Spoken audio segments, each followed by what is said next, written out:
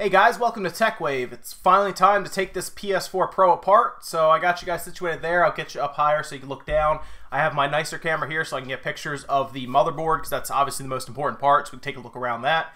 And uh, I'm very excited. I do not have any guide to open this thing, so I think I'm just going to go ahead blind and try to get it apart without any issues. I figure while I'm in there, because I noticed it was loud, I already tested it, it works fine.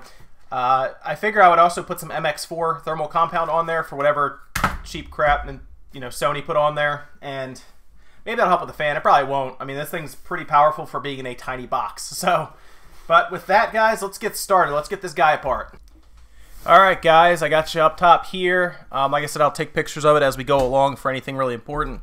Now, from what I remember, I've only had to do a hard drive change in one of these before, so I do know the hard drive comes out of the back here, which is pretty pretty easy to do. So if you are trying to change your hard drive in this for whatever reason, there is actually a tab here that pulls right out. It's just a piece of plastic. And then it just opens up to a Phillips head screw that's very similar to the PS3 screw, or the PS4, I should say, right? The same design. And that's just a terabyte drive. It's upside down, so you really can't see, but this is the terabyte drive from the PS4 Pro. And of course, they're nice enough to give us, I took the warranty stickers off here and here, nice enough to give us T8 screws, which a lot of people hate because they're security bit. But, of course, I think I have every screwdriver known to man, so this is not a problem for me. I will also say I do like the design here on the bottom. Might be a little hard for you to see, so I'll get you a picture of it. But it actually has like the circle, the X, the square, and the triangle as the rubber feet on the bottom. I actually like that idea. That's actually pretty cool. Uh, hopefully the back just comes right off because I don't see any of the screws here. So hopefully with that, we can get this guy apart from here. There we go. This is like clipped in with like uh, with clips around the edges here. Very similar. The PS4 did the same exact thing actually. So there we go. Comes right off. Look at that. We're already in. Just trying to get the motherboard out. So I see a lot of ribbon cables right away. a lot of ribbon cables over here.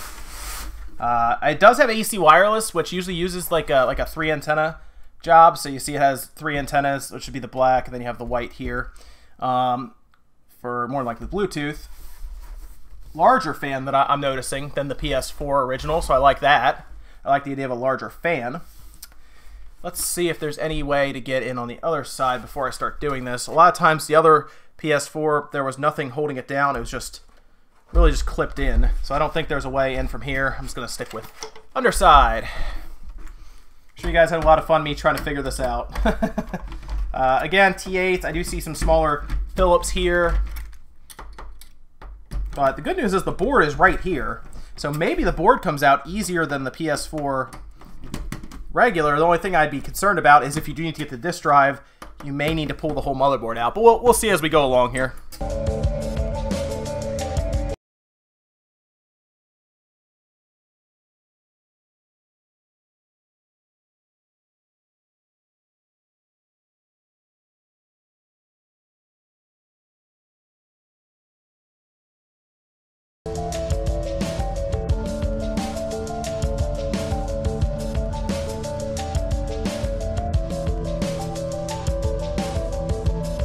Right here. The other, PS, like regular PS4s, you have to take everything apart. Wow. Wow, okay. That's something. I was not expecting that. Look at this thing. It has like a full, like, clamp on the back. Wow. Wow, okay, that's... Alright, so they would do this, guys, to prevent board flex, usually. And that was one of the big key problems with the 360, if you remember, where it would get the red rings. That's because the board would flex a lot.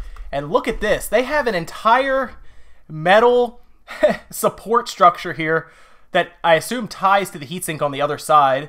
And there's several screws all around it. That's probably how hot this GPU gets. It is able to probably flex this board because remember it has uh, 4. Point, oh, I should look that up. For, it's either 4.2 or 4.3. I think it's 4.3 teraflops running through this guy.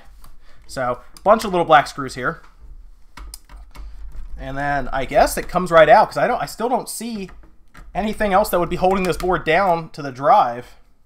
Again, the only problem with that, guys, is you probably have to take this entire board out to get to the drive.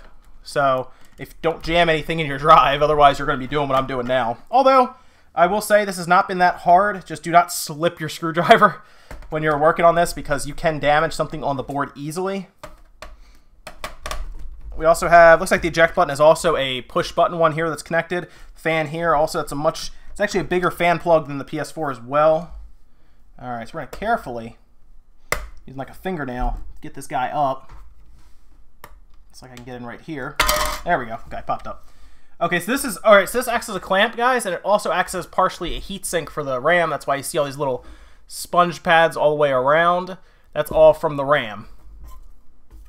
So, not not a bad idea by Sony. That's actually a good thing. Then we have what I guess would be their version of the X clamp, as you can see here. That's not. It's it's definitely better than Microsoft's plan for the 360, and even the Xbox One uses an X clamp as well. I like the idea of these screws going through for tension. That's a good idea. Um, again, though, more stuff needs to come out just to get to the board out.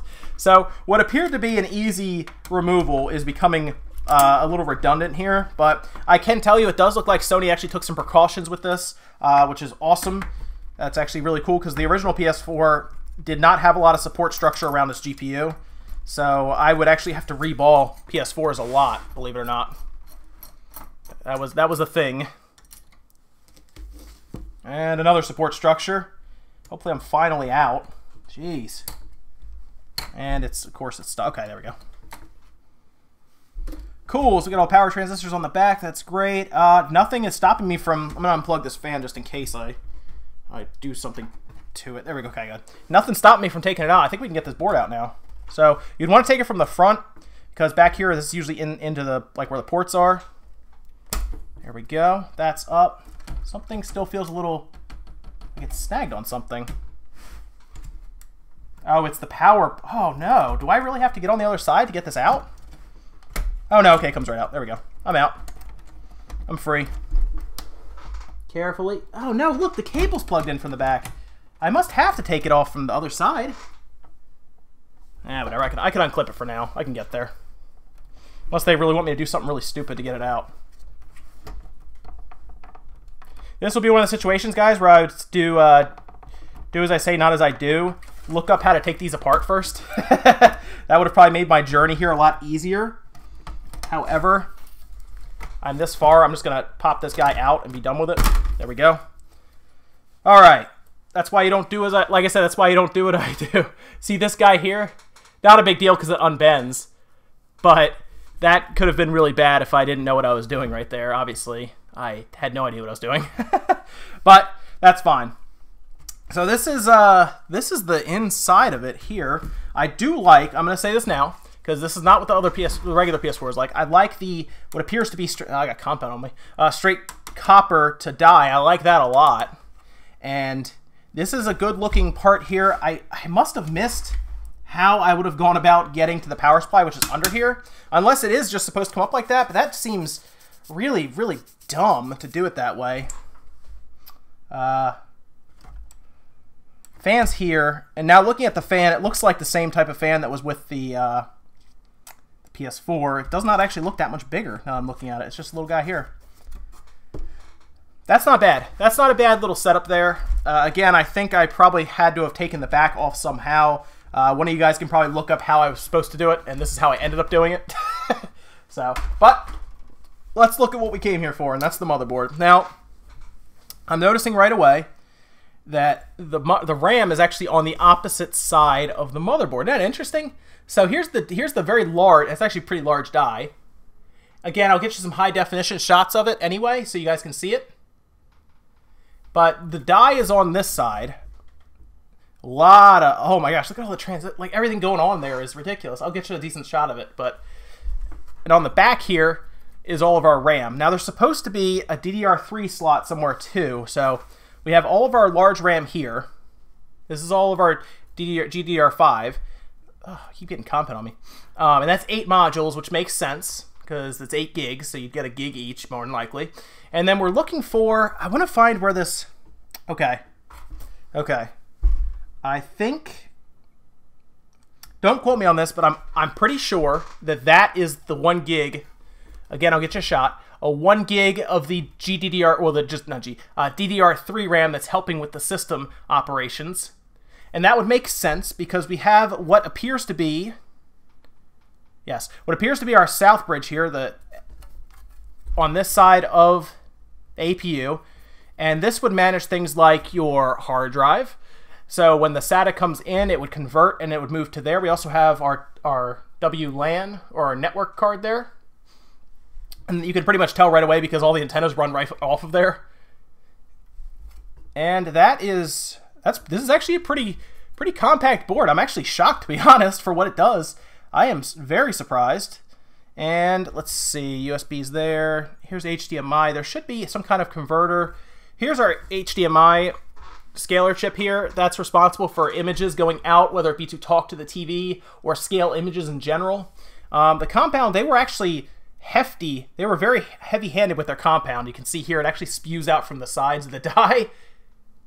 So that is uh that is pretty good. Um, I'm you know this isn't bad. This is not a bad setup. So with that, guys, I'm going to put this back together, and that way, because last time you guys said I probably took it apart and it didn't work, I'm going to put it back together so you guys see that it does still work.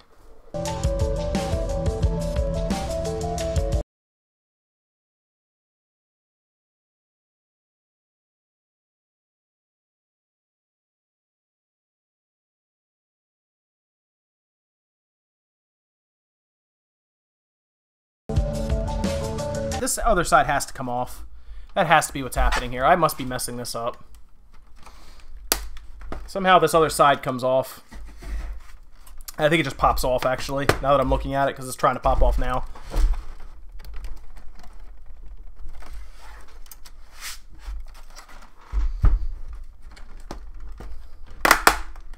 It does. Are you serious? Man, I could have just popped this off a while ago and been fine. Yep. Ah. Alright, guys. So, in this case, I went the dumb route, to be completely honest with you guys. But this works. I can show you more of it, I guess. There we go. That's the way I was supposed to get in there. And I go the complete wrong way. But that's how you learn. That's how you learn, guys. Learn by doing. So this is our power supply. Makes sense why I was having such a hard time getting the board back in. Usually you gotta take the power supply out and then it, then it plugs into the board. But you know what? I went the long way to get here, so that's fine. You guys just get to see more of the PS4 Pro. There's my two antennas, by the way. There's two more antennas there. There you go.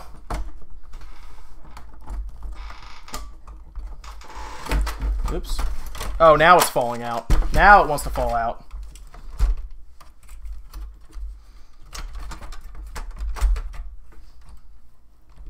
Okay, I take it back. The heatsink's not very big. I'm looking at it now. It is not a large heatsink, sadly. And I can't get this out now because there's still a screw that's holding it together, I think. Oh, no, I'm wrong. There we go. So, the heatsink, not very big. Actually, a pretty small heatsink, unfortunately. It's roughly the same size as what the PS4's heatsink is. Um, the regular PS4, that is. So I'm a little disappointed with that, but that's fine.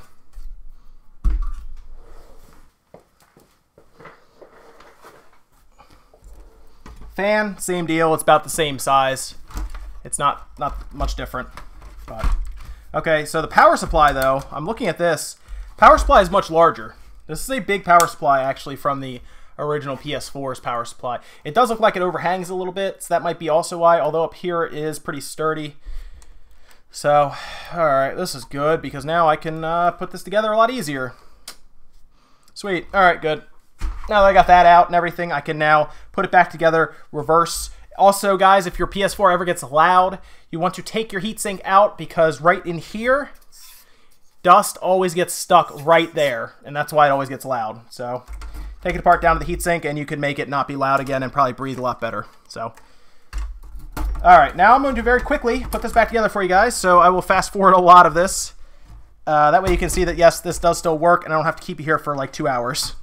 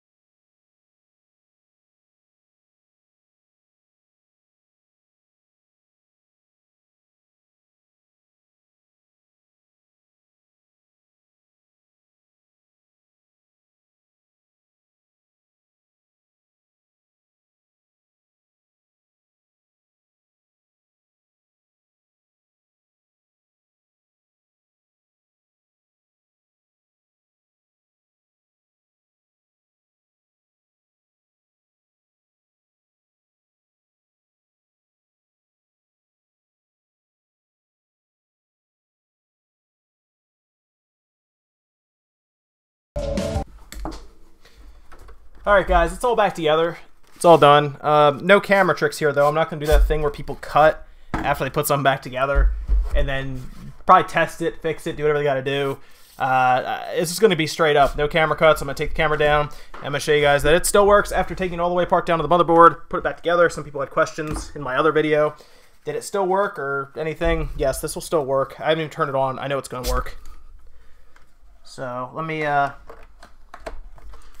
plug this in. I'll take this camera down and see if I can give you guys a good picture of it. I can just quick release it and point it at the TV. So let me plug that in. Let me switch this TV over to HDMI. And I'm just going to grab this guy real quick. Of course, it's hard from this side.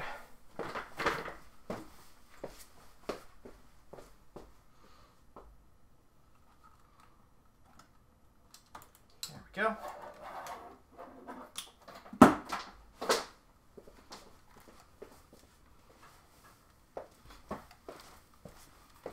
All right, here we go. No camera tricks or anything. This is HDMI. Let's uh, let's hit this guy real quick. Eject. I think I left Kingdom Hearts in there actually.